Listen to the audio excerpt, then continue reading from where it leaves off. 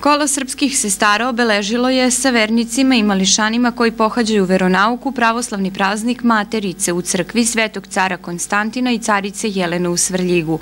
Obeležavanju praznika prethodila je sveta liturgija, koju je služio sveštenik Strahinja Eraković, a potom su mališani pred mnogobrojnim vernicima okupljenim u crkvi recitovali pesme o majci.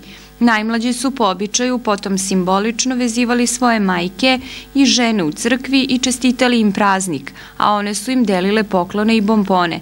Nakon svečanog dela u crkvenim prostorijama vernicima i majkama služeni su slatkiši, pecivo i čaj.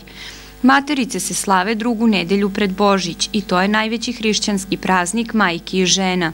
Na taj dan deca poraneju napred pripremljenim kanapom, koncem, šalom, maramom ili kajišem vežu svoju majku, a majka se pravi da ne zna zašto je vezana. Deca joj čestitaju praznika, majka onda deli deci poklone i na taj način se dreši. Na isti način se vežu i sve udate žene koje slatkišima i drugim poklonima darivaju decu.